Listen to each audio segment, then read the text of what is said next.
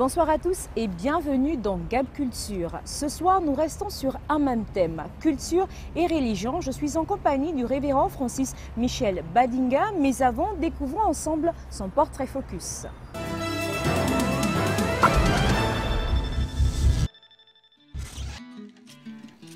Le révérend Francis Michel Badinga est un réformateur inventif, issu de la cinquième lignée d'une génération de ministres du culte dont il perpétue la tradition et le prestige familial.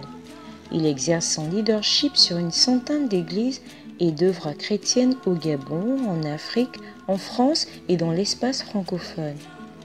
Il est considéré comme le père du réveil spirituel qui a touché le Gabon dans les années 1980 et fait partie des personnalités majeures de la grande famille pentecôtiste, charismatique et de réveil au Gabon. Son ministère est une œuvre puissante fondée sur la révélation de l'Esprit de Dieu aux églises et aux nations. Il a la conviction qu'écrire est un moyen de communication et d'annonce pour inciter plusieurs d'entre nous à aller en profondeur dans l'étude de la parole de Dieu afin de découvrir les principes qui nous conduiront au succès et à la réussite dans toutes nos entreprises. Il est par ailleurs un conférencier international évangéliste auprès des hommes d'affaires, des cadres et des élites chrétiennes, que ce soit aux États-Unis, en Europe ou en Afrique. Il est également consulté par des hommes d'État.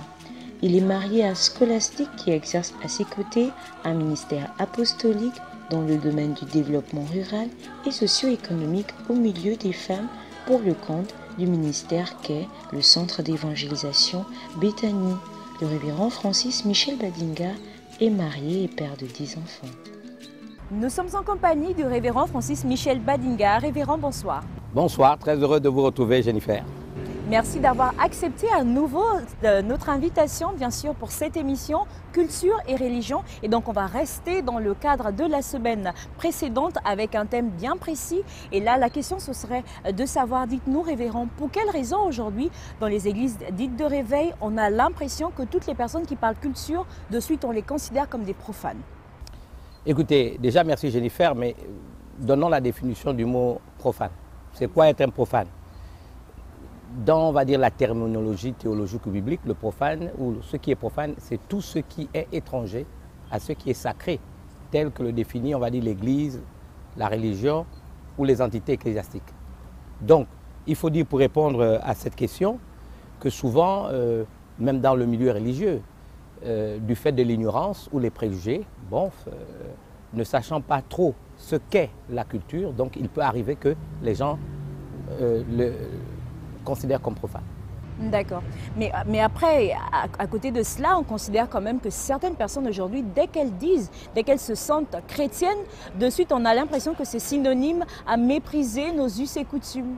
La première question qu'on doit se poser, à quoi Dieu avait destiné la culture? Vous remarquerez qu'à l'intérieur du mot culture, il y a la racine culte. Nous nous rendons un culte à Dieu. Et donc la culture serait tout simplement une façon également d'honorer Dieu. Je veux m'exprimer en m'appuyant sur, euh, je veux dire, le texte du grand rabbin apôtre Paul, je crois dans son épître aux Romains au chapitre 1, verset 20. Les perfections invisibles de Dieu, sa puissance éternelle, se voient à l'œil nu lorsqu'on considère son ouvrage. Le peintre qui euh, reproduit un arbre ou une forêt vierge ou tout simplement un fleuve, n'est-ce pas, une rivière, un lac, quelque part, ou même qui peint un être humain, une femme en train de travailler, un homme dans sa plantation, quelque part participe à cette gloire qui doit être rendue à Dieu. Donc vous remarquerez que donc si euh, la racine du mot culture est culte, la culture devait servir donc à magnifier la grandeur de Dieu dans ce qu'il a fait de merveilleux et que nous pouvons, n'est-ce pas, constater autour de nous. C'est un fait la création est un fait. Jamais on n'a imaginé que le ciel tombera sur la terre, puisque toute chose subsiste par sa parole puissante. Donc, la culture, en réalité, devrait servir à toujours rendre un culte à Dieu. On va dire tout simplement, c'est une forme de que nous rendons à Dieu en magnifiant sa création, en magnifiant tout ce qu'il a fait par la peinture, par la danse, par les rythmes, un certain nombre de choses qui révèlent notre diversité dans ce que nous avons de commun en tant qu'humains. Alors dites-nous, révérend, théologiquement parlant, est-ce qu'il existerait des passages dans la Bible où il y aurait une démarcation entre culture et sorcellerie? Bon, mais je vous l'ai déjà dit, euh, je vous donnerai un exemple biblique puisque vous tenez, je sais que vous me titillez un peu parce que vous savez que je suis théologien et prédicateur. Mais avant d'entrer dans les détails euh, par rapport au texte fondamental sur lequel je voudrais m'appuyer, je pense que lors de la précédente émission, il a été défini que la culture, c'est tous nos gestes quotidiens, tout ce qui, n'est-ce pas, nous distingue des autres par rapport à nos danses, à nos rythmes, à nos habitudes alimentaires, vestimentaires, euh, etc. Bon, culinaire, on en a parlé également. Dans nos rythmes, nos chants, nos danses, euh, nos traditions. On a vu que la sorcellerie, tout simplement, euh, c'est tout ce qui est nuisible, tout ce qu'on fait dans le but de nuire, de tuer, d'envoûter, de faire du mal. Donc ça n'a rien à voir avec la culture. Et comme je l'ai si bien exprimé, je vous ai édifié sur le fait que dans tous les domaines de la vie sociétale, qu'on soit dans le monde religieux, qu'on soit dans le monde ecclésiastique ou dans le milieu traditionnel, il y a toujours eu dans le cours de l'histoire ce que j'appelle des déviations. Donc à partir du moment où, par exemple, dans le monde religieux, des sectes pernicieuses existent, c'est que par rapport à la doctrine fondamentale, il y a eu déviation. Ce que je revendique, ce que je, ne cesse de dire, que même dans nos traditions, il y a eu des déviations. Il y a eu des déviations. Si je donnais l'exemple de la pharmacopée traditionnelle, Bon, il y a des plantes, si vous avez de la dysenterie, vous avez mal au ventre, vous prenez cette plante. Dans ma langue maternelle, il y a une plante qu'on appelle Dunduene qui peut être assimilée à une menthe sauvage. Vous prenez cette plante, n'est-ce pas? Vous la mélangez avec du sel ou du citron, vous, vous le consommez tout de suite, vous, vous êtes libéré. Chez les Pounous du côté paternel, il y a une plante qu'on appelle micuis ce que certains appellent les cannes à sucre sauvages. Bon, j'ai appris qu'on peut même euh, apaiser une douleur dentaire, n'est-ce pas, ou bien régler un problème qu'on a avec les yeux, juste en pressant cette canne sauvage. Il n'y a rien de sorcier là-dessus. Si maintenant, autour d'un acte aussi simple, parce que cette plante a des vertus, maintenant je mets autour un culte, j'invoque des esprits, il y a une déviation. Et ça participe à la sorcellerie. Maintenant, plus vous avez tenu à voir un texte biblique, je m'inspirais de ce que Dieu dit à Abraham. Abraham vient dur en donc l'actuel Irak. Abraham, son père c'est Terach, il vit à Ur en. Dieu lui dit, va-t'en de ton pays, de la maison de ton père, dans le pays que je te montrerai.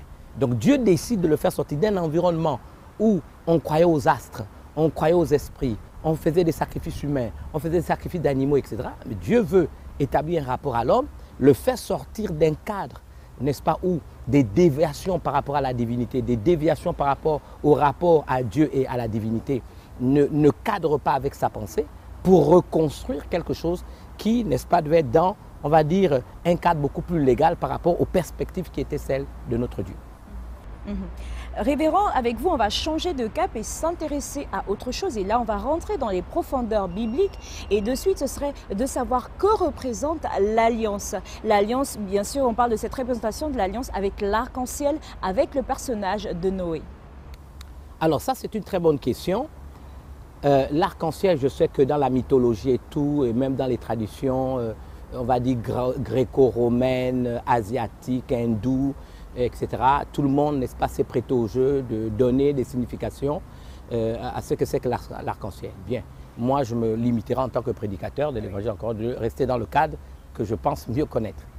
La première chose que je voudrais vous dire, c'est que euh, l'arc-en-ciel, c'est le symbole de l'alliance. Il y a, euh, si nous nous inspirons des textes bibliques à partir particulièrement de le livre de la Genèse, le premier livre de la Bible, chapitre 6, 7 et 8, et on peut même aller jusqu'au chapitre 9, un constat que Dieu fait. le monde, n'est-ce pas, est dans, euh, n'est-ce pas, euh, toutes les pensées des hommes vont uniquement vers le mal. C'est un chaos, c'est une crise morale généralisée. Et donc Dieu décide de mettre fin à tout ça. Donc il décide de détruire. À l'issue de cette destruction par euh, ce qu'on a appelé le déluge, je crois que vous devez connaître l'histoire, Dieu fait une alliance avec Noé qu'il a préservé parce qu'à l'époque, Noé avait été trouvé juste devant Dieu au milieu de cette génération perverse et corrompue. Et Dieu, quand il fait l'alliance, il dit, je ne détruirai plus l'homme en utilisant, on va dire, le moyen que Dieu a utilisé à l'époque pour remettre à place cette humanité décadente. Et donc Dieu donne à, Noé, avec qui il fait une alliance, un signe. Vous allez remarquer qu'il y a des choses extraordinaires par rapport à l'alliance. L'alliance en l'arc, l'arche de l'alliance, ou l'arc de l'alliance, c'est un arc. Que représente un arc, même sur le plan simplement géométrique? C'est un demi-cercle. Vous avez ici mon anneau de mariage. Chez, dans la symbolique chrétienne, un anneau, c'est symbole d'alliance. C'est un cercle, c'est un anneau. Il n'a ni commencement ni fin, c'est un cercle. Comme euh, pour dire, j'ai fait une alliance avec mon épouse, je l'aimerai toute ma vie, elle vivra avec moi. Il faut simplement pour que cette alliance soit brisée, que la mort nous sépare. Hein? Vous voyez donc? Alors, mais l'arc, c'est quoi? C'est tout simplement un anneau, mais vous allez remarquer un demi-cercle. Pourquoi un demi-cercle? Parce que là, dans le cadre précis du texte, c'est Dieu qui prend un engagement. Vous remarquez que si c'est un demi-cercle, c'est un arc, un demi-cercle. Donc Dieu dit, il ne détruira plus. On peut par extension nous inspirer du psaume, euh, je veux dire 89, versets 34 à 35. Dieu dit, en ce qui le concerne, je ne changerai pas ce qui est sorti de ma bouche, je ne violerai pas mon alliance. Ça, c'est Dieu qui le dit. Maintenant, ce qui est intéressant dans l'alliance, il faut, il faut être deux. Dieu, lui, il fait un demi-cercle pour laisser le soin à l'homme de compléter le cercle. C'est-à-dire c'est mon engagement vis-à-vis de vous. Je ne détruirai plus l'espèce humaine. Je ne ferai plus ce que j'ai fait. Qu'est-ce que vous, en retour, vous allez faire? Mais derrière cette alliance, et c'est extraordinaire, c'est que cet arc qui est un demi-cercle, donc qui doit être complété par, n'est-ce pas, la partie de l'alliance que nous devons contracter avec Dieu, donc le deuxième demi-cercle manquant pour faire, n'est-ce pas, cet anneau qui est symbole d'alliance de deux personnes. Alors, du, côté de Dieu, il y a des couleurs. Je vous défie de faire des recherches. Vous allez remarquer que Isaac Newton est l'un des rares scientifiques, n'est-ce pas, mathématicien, scientifique, physicien, qui a réussi à découper, n'est-ce pas, à étudier l'arc-en-ciel. Vous remarquerez qu'il y a sept couleurs de l'arc-en-ciel. L'arc-en-ciel est fait de sept couleurs. Hein, j'ai noté quelques couleurs, euh, n'est-ce pas, rouge, n'est-ce pas, orange, jaune, vert, bleu, indigo et violet, par exemple. Sept couleurs. C'est Isaac Newton qui les a découpées ainsi. Et les couleurs, c'est la promesse de Dieu de colorer notre vie. Une vie colorée, c'est une vie bénie. Et sept, c'est quoi? C'est le chiffre de la perfection divine. Ça, c'est encore extraordinaire.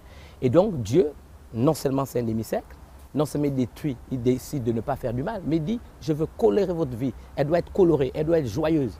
Donc, il nous revient à nous, n'est-ce pas, comme Noé l'a fait, de compléter, n'est-ce pas, ce demi-cercle, en fait, ce demi-cercle, donc cet, arc, en nous engageant aussi, n'est-ce pas, à marcher sur les principes divins. En tenant compte également que l'arc, l'arc, l'arc-en-ciel représente également le serpent, le python, le serpent ancien, très connu de nos ancêtres. Je, je reviens à ce que je vous ai dit. Il faudrait qu'on parle un peu d'antériorité, mais on en reviendra tout à l'heure. Souvent, les gens me disent oui, mais les ancêtres, oui, mais ceci, mais oui, avant les traditions. Mais un des noms de Dieu, c'est Atik Yomin, l'ancien des jours. Son nom, c'est Yahvé, celui qui existe par lui-même. Donc, il n'y a rien qui est antérieur, n'est-ce pas, à, Dieu lui-même. Donc, euh, des traditions les, ont estimé que c'est ça. Bon, soit ce sont des déviations, n'est-ce pas Comme On revient sur le même sujet, ce sont des déviations, mais à l'origine, au commencement Dieu, vous l'avez déjà lu dans Genèse chapitre 1, verset 1. Donc tout commence avec Dieu. Et tout ce qui vient après, soit c'est une continuité dans ce que Dieu lui-même a inspiré, soit ce sont des déviations. D'où nous vient l'idée de l'arbre de la connaissance du bien et du mal? Alors là encore, c'est très intéressant, mais vous avez l'histoire dans le livre de Genèse, à partir du chapitre 3, l'arbre de la connaissance du bien et du mal. Et là, encore là, c'est quelque chose de très intéressant. Mais vous savez que euh, le théologien que je suis sait que dans un texte biblique, et euh, parce que euh, c'est un texte de l'Ancien Testament dont vous devez savoir que le texte original c'est de l'hébreu, un même texte peut avoir 72 niveaux de lecture sans pour autant, sans pour autant, n'est-ce pas, sortir, on va dire, du contexte théologique et on va dire exégétique du texte. Bien. Donc le même texte, on peut, n'est-ce pas, euh, en avoir une lecture sous différents angles. La première chose d'abord, cela révèle quelque chose de très intéressant. Voici que vous avez un homme, une femme, Adam et Ève, que Dieu met dans un jardin de délices, dans un environnement paradisiaque, ce qui suppose que c'est le plan de Dieu de nous faire vivre dans un environnement paradisiaque. Dieu a pour nous des plans de paix et non de malheur afin de donner un avenir et de l'espérance. Donc le plan parfait de Dieu pour l'humanité, c'est que l'homme qu'il a créé à son image, à sa ressemblance, vive dans un environnement n'est-ce pas, paisible et tranquille. Un environnement paradisiaque, n'est-ce pas? Et encore, il place l'homme dans le jardin d'Éden pour le cultiver, le garder. Donc, il donne à l'homme aussi la possibilité de parfaire sa création. Parce que dans la pensée de Dieu, l'homme est partenaire de Dieu dans tout ce qu'il fait.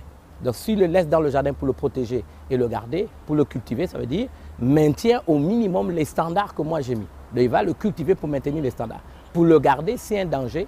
Je fais de la terre la juridiction où l'homme doit pouvoir, n'est-ce pas, exercer. Il n'y a pas tout seulement, tu deviens mon régent. On va le dire ainsi. Bien. Maintenant, il y a ce table de la connaissance du bien et du mal. Ça, c'est très important. Parce que cela révèle aussi la pensée de Dieu quant à la manière dont il gère l'humanité. Quelle est la pensée de Dieu par rapport à l'humanité? Il a fait de chaque humain un agent moralement libre. C'est ce qui explique la présence de l'arbre de la connaissance du bien et du mal. En d'autres termes, je t'ai mis dans un environnement paisible et tranquille. Je t'ai mis dans un environnement qui est paradisiaque. Je te donne même l'autorité comme régent de cette entité juridique qui s'appelle Terre. Tu as la possibilité de l'améliorer, de maintenir les standards et même de protéger cette terre de tous les dangers qui peuvent, n'est-ce pas, euh, n'est-ce pas, subvenir. Seulement, seulement, tu n'es pas une mascotte. Seulement, tu n'es pas un objet que je veux manipuler. Parce que le rapport de Dieu à l'homme est un rapport de, rapport, n'est-ce pas, qui suppose une adhésion volontaire, mais pas une adhésion imposée. Cela me ramène à un texte que vous connaissez dans la Bible, je crois dans Deutéronome chapitre 30, verset 15. Je mets devant toi la vie et le bien, la mort et le mal, choisis. Donc en fait, la présence d'un arbre dans ce jardin de la connaissance du bien et du mal suppose que l'homme, l'être humain, est un agent moralement libre. Il lui revient de choisir lui-même ce qu'il veut. Au-delà du fait que Dieu a pour lui un, plan de bonheur, mais l'homme est libre de choisir ce qu'il veut. C'est un agent moralement libre. Mais il faut y ajouter qu'il y a le serpent qui rôde. N'est-ce pas? Donc, autant j'existe, autant tu dois prendre conscience que il y a une entité qui s'appelle le diable, qui est le serpent ancien, n'est-ce pas? Qui est là, qui peut t'inspirer, inconscient du danger, parce que lui peut t'inspirer à faire des mauvaises choses. Chez les Grecs, on parle du récit espiride. Et à l'intérieur, euh, il est très connu ce récit pour avoir un arbre également dans un jardin où on a un serpent qui est enroulé sur l'arbre, qui entoure l'arbre. Et bien sûr, qu'est-ce qu'on a d'autre? C'est que ce serpent parle plusieurs langues. Et donc, il est polyglotte. On, le renvoie même à la notion euh, de, de langue euh, en rapport, bien sûr, avec la tour de Babel. Est-ce que finalement, on ne va pas dire, sachant que ces textes grecs sont très anciens, est-ce que finalement, on ne va pas dire que la Bible aurait plagié les textes des Grecs Tout commence avec Dieu. Donc Dieu ne peut pas plagier sur quelque chose. Son nom c'est Jéhovah, celui qui existe par lui-même. Il ne peut pas plagier. Il y a dans le monde, et particulièrement celui qui nous concerne, le monde religieux, il y a par exemple chez les Hébreux ce qu'on appelle la Shebéalpé. La Shebéalpé, je vous l'ai dit, c'est la théologie de la bouche. C'est-à-dire, il y a un temps d'une antériorité très éloigné avant même les premières écritures. Une théologie de la bouche, c'est-à-dire qui est orale. Vous comprenez? Qui est orale, c'est-à-dire avant qu'on écrive, même si des gens ont écrit avant que la Bible ne soit écrite telle que nous l'avons, il n'en demeure pas moins que l'existence d'une science, d'une connaissance, restant dans le domaine de l'oralité, existait. Euh, nous avons, euh, n'est-ce pas, un dicton que je n'aime pas trop, permettez-moi de le dire, en Afrique, lorsqu'un vieux meurt, c'est une bibliothèque qui, qui s'envole ou qui brûle. Bon, mais je trouve ça, c'est une ineptie parce que la bibliothèque ne doit pas, n'est-ce pas, se brûler. Il faudrait que euh, nous essayons de réfléchir sur le fait que s'il y a des gens qui ont des connaissances qui sont, qui, qui, sont nôtres et qui l'ont dans l'oralité, mais qu'on organise, n'est-ce pas, des choses pour que cela soit traduit en écriture. Pour des raisons tout simplement, on va dire, accidentelles, dans le cours de l'histoire des Hébreux, eux-mêmes aussi euh, ont péché comme les Africains, c'est-à-dire qu'ils n'ont pas trouvé utile d'écrire leurs connaissances, d'écrire, n'est-ce pas, leur rapport à Dieu. Il a fallu qu'ils soient en 500, je crois, 23, envoyés en à Babylone en, captivité pour qu'ils se disent, bon, tiens, tiens, il faut qu'on essaye d'écrire des choses pour que dans le temps et l'espace, nos, sciences, nos connaissances, notre rapport à Dieu ne se dissipent pas. Alors, révérend, avec vous, on va s'intéresser à autre chose. De suite, ce serait la démarcation. Ce qui différencie Jésus des hommes ordinaires, c'est qu'il est mort et ressuscité. On est d'accord On est d'accord. Le mystère. D'accord. Sauf que quand on repart dans les écritures anciennes, on constate qu'au niveau de l'Afrique, on a eu Osiris, qui est un dieu africain, qui est mort également ressuscité. On a eu Bacchus, on a eu Dionysos, on a eu Adonis, on a même eu Nitra chez les Perses. Donc finalement, tous ces dieux sont morts et ressuscités, à la seule différence que Jésus est le tout dernier. Et donc, qu'est-ce qui différencie tous ces dieux de Jésus-Christ de Nazareth? Alors, la première chose que je voudrais vous dire, Jésus est Dieu fait homme. Voilà, écoutez, je vous défie de regarder euh, le Proverbe chapitre 8. la sagesse incarnée. Quand vous lisez le prophète chapitre 8, il dit, j'étais là le jour de la fondation du monde. J'étais là le jour de la fondation du monde. Il dit, celui qui m'a vu a vu le Père. Dans l'Épître aux Hébreux, chapitre 1, on dit, il est le reflet de la gloire de Dieu, il est l'empreinte de sa personne. S'il est l'empreinte de la personne de Dieu, c'est que Jésus est Dieu. À la seule différence, et je suis totalement d'accord avec vous, il y a pu avoir des divinités qui ont été révélées aux gens avant que Jésus ne prenne une forme humaine. Mais Jésus n'a pas existé seulement à partir du jour où il a pris une forme humaine.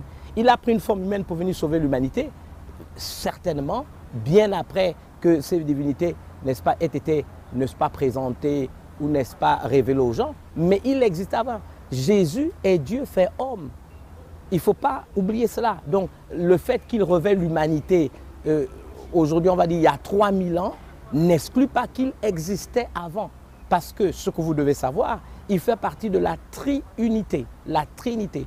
Vous êtes Jennifer, vous êtes esprit, âme et corps. On ne peut pas dissocier Jennifer corporelle qui est en face de moi de son esprit, de son âme et de son corps. C'est la même entité.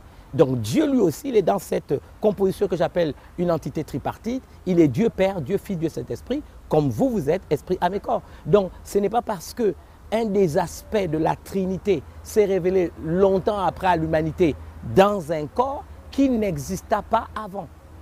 Donc on revient tout sur l'antériorité où tout commence avec Dieu. Tout commence avec Dieu. Au commencement, Dieu. Ça, ça doit être le repère. L'avantage avec Christ, c'est quoi? Nous ne faisons pas une transposition, je veux dire quoi euh, euh, Nous ne faisons pas des projections astrales pour aller à la rencontre de Dieu. Dieu se révèle. C'est là où c'est intéressant. Vous Dieu, lui, il se révèle à l'humanité. Dieu a tellement aimé le monde qu'il a donné son Fils. Jésus vient, il se révèle aux gens. Il, se révèle au cœur des gens. Il se révèle à la conscience des gens.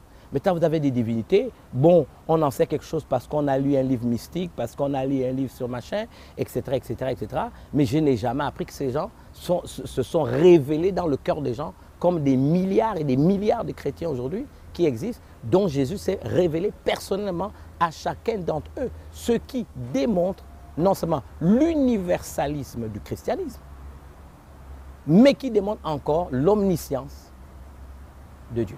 À la seule différence, révérend, que nos traditions culturelles, bien sûr, viennent retracer l'histoire même de l'humanité. Donc, ça, ce sont bien sûr les traditions africaines. Et on, va aller dans, des religions révélées telles que le judaïsme, pour ne citer que, cela, euh, par exemple, avec l'islam également. Il y a des préjugés, je vous l'ai dit tantôt. Il y a des chrétiens qui ne connaissent rien de la culture, qui ont des préjugés, qui estiment que tout ce qui est culture, je veux prendre, je reviens à l'exemple que je vous donnais tout à l'heure, euh, le micuis, n'est-ce pas, euh, cette canne à sucre sauvage, ou bien d'où parce que j'ai de la dysenterie, ils vont dire, ah, le révérend, il fait de la sorcellerie. C'est un préjugé, ils n'en savent rien. Il faut admettre que si on ne connaît pas, on ne connaît pas, on est ignorant. Je n'ai jamais dit, et je le redis encore aujourd'hui, tout dans la culture n'est pas mauvais. Tout dans la tradition n'est pas mauvais. Il y a des bonnes choses dans la tradition. Les mariages à la coutume ont préservé, par exemple, les familles africaines. On n'est pas en Occident où quelqu'un se lève un matin, prend une femme, l'amène à la mairie sans que les parents soient au courant et trois jours après peut pas s'en débarrasser comme on change un sous-vêtement. Mais euh, quand vous êtes marié à la coutume, c'est la tradition, c'est des familles qui se lient. Ce n'est pas seulement, n'est-ce pas, les deux tourtereaux qui sont engagés, mais c'est des liens qui sont établis entre les différentes familles. Donc voilà un côté positif, par exemple, de nos cultures et de nos traditions. Donc tout n'est pas mauvais dans notre culture. Il faut le dire de manière claire. Il faudrait que les traditionalistes et tous ceux qui sont férus de culture sachent que le christianisme ne s'oppose pas aux cultures des nations. Le christianisme, au contraire, soutient les cultures des nations. La preuve, Jésus a vécu dans un contexte culturel juif. Il, a, vécu, il a fait le Shabbat, je vous l'ai dit la dernière fois. Il a fait la Bar Mitzvah à 13 ans. Donc le christianisme ne montre en aucun moment qu'il faille, n'est-ce pas, se séparer de ses, ses coutumes. À la seule et unique différence qu'il faut discerner ce qui est culture, ce qui est us et coutume, ce qui est tradition, de ce qui est sorcellerie. Et je dis tout ce qui est du domaine de la déviation par rapport à la source d'une chose, tel que Dieu l'a inspiré dès le départ, et qui a tendance, n'est-ce pas, à faire en sorte que c'est pour nuire, détruire, tuer, etc., n'a rien à voir avec la culture. Dans aucune tradition du Gabon, j'ai fait les neuf provinces, aucune tradition. Je suis allé dans le nord, dans le sud, dans l'est, dans l'ouest, il n'existe aucune tradition au Gabon, dans mon pays, où on tue. Ça n'existe pas. Donc tuer parce qu'on est sorcier, parce qu'on est assassin, parce qu'on est cannibale, tout ce que vous voulez dire, ça ne fait pas partie de la culture. C'est de la sorcellerie pure, c'est du satanisme. Et souvent, ce que nous devons savoir, c'est que ce sont des pratiques étrangères qui viennent d'ailleurs, qui viennent même souiller nos cultures. C'est-à-dire que notre tradition pure, donc il n'a rien à voir, il n'y a aucune culture, vous allez chez les femmes, je vais poser la question aux gens, on m'a dit non, il faut peut-être aller du côté de Mimvoul, chez les même. Peut-être là-bas, les pygmées vont vous dire. Même là-bas, les pygmées disent on ne tue pas. Toutes les traditions du Gabon disent ne tue pas. Donc tout ce qui tue sous le prétexte de la tradition, etc., c'est de la sorcellerie, ce n'est pas de la culture. Merci révérend. La suite, c'est avec Culture Events.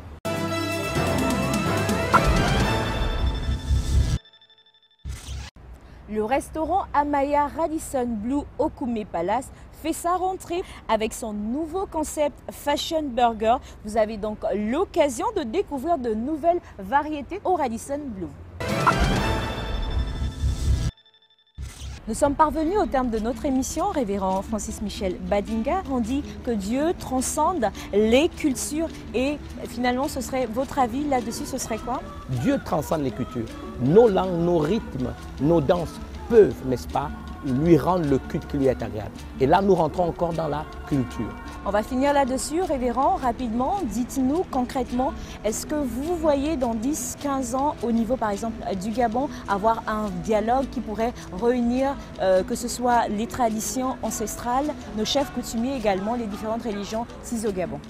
Moi, j'ai des convictions. Je vais toujours du principe que si je suis chrétien, c'est que j'ai approfondi ce choix. Je l'ai approfondi, je suis basé, fondé sur des repères solides. pourquoi j'ai choisi d'être chrétien et je n'ai pas choisi d'être bouddhiste. Ça veut dire qu'il y a eu une réflexion personnelle. Il y a eu une réflexion profonde. À partir du moment où mes convictions ne peuvent pas être ébranlées, à partir de ce moment-là, dit ce qui n'est pas le fruit d'une conviction est un péché. Donc parce que j'ai solidement fait un choix. Maintenant, celui qui est bouddhiste, qui a choisi de l'être, je le juge pas. Mais je peux lui expliquer tout simplement que le fait d'être bouddhiste, parce que je suis un prédicateur de l'évangile, ne te garantit pas le salut. Mais je lui parlerai par rapport à une connaissance que, je connais. Et s'il il m'arrive à croire ou à penser que dans ce qu'il est en train de faire, peut-être il s'oriente vers quelque chose qui peut le perdre, avec amour et respect, je lui donnerai mon opinion.